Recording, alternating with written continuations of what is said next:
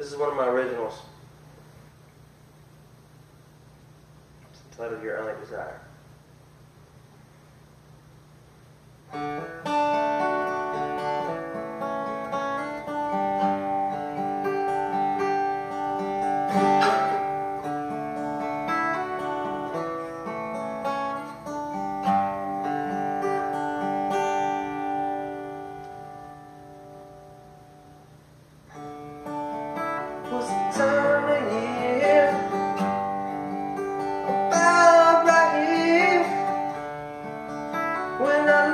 into those eyes. That intelligent boy was your